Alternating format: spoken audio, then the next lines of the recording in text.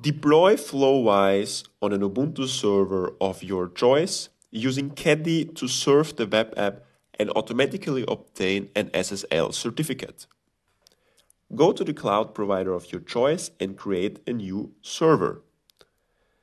Create an Ubuntu server with Docker pre-installed so that we have to install less later on. You can choose a relatively cheap instance.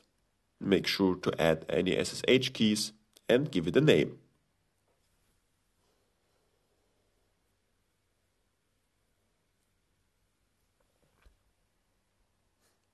Once the server is created and you get an IP address, copy the IP address and add it to the name service provider of your choice where your domain or subdomain points to this new IP address.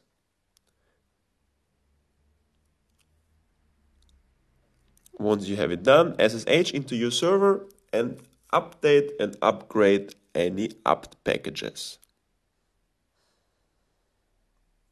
Optionally, you can restart the server. What you have to do for sure is to open the HTTP and HTTPS ports via UFW. Then install Caddy with this long command.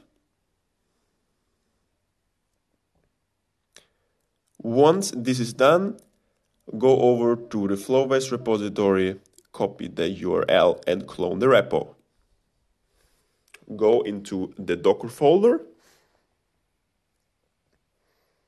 and create a caddy file without any file extension. Just caddy file, copy in this content and make sure at the top to change the URL to your own URL.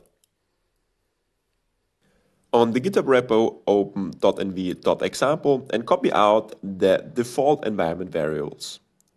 Create a new .env file in the Docker folder of the Flowise project and paste in those default variables.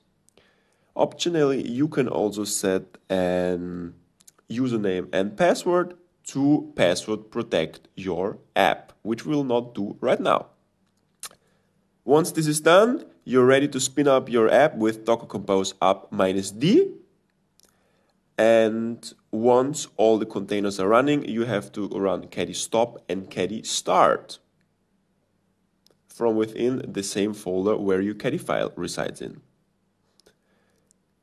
Now we are done and we can go to the URL that we specified before and check out our fully functional Flowise app.